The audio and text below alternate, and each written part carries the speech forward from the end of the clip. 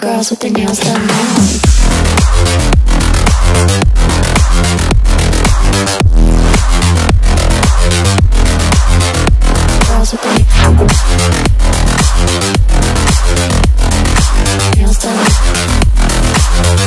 girls with their nails done.